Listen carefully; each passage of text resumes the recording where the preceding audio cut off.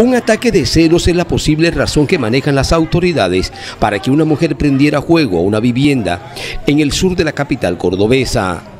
Las imágenes muestran el momento en que en forma desesperada los vecinos del lugar buscaban la manera de afrontar la emergencia. Sin embargo, el fuego lo consumió todo.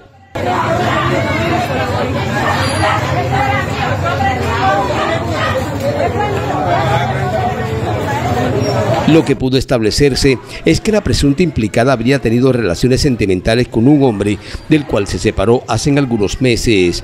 Posteriormente, dicha persona se había organizado con otra mujer.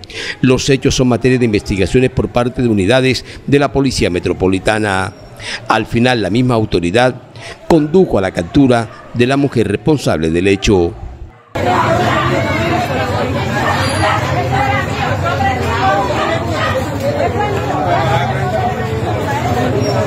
Chica Noticia, siete años informando a tu lado.